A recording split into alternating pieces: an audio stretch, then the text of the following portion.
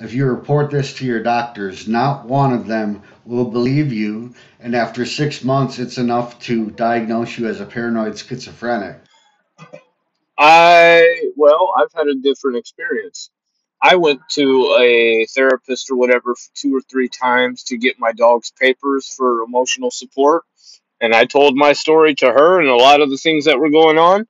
She said, I don't think you're crazy. I think the world has taken a huge, giant shit right on you. That's what she said. But not long after that, uh, the community health center she worked at, because everything was under one umbrella, I had issues with the doctors and there was some malpractice. So she turned on me to keep her job. So this started in October 2004. I was hospitalized once in December of 2004 and another time in July of 2005.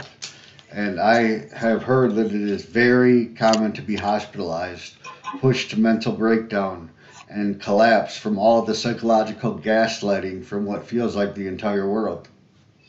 Now, it feels like the entire world.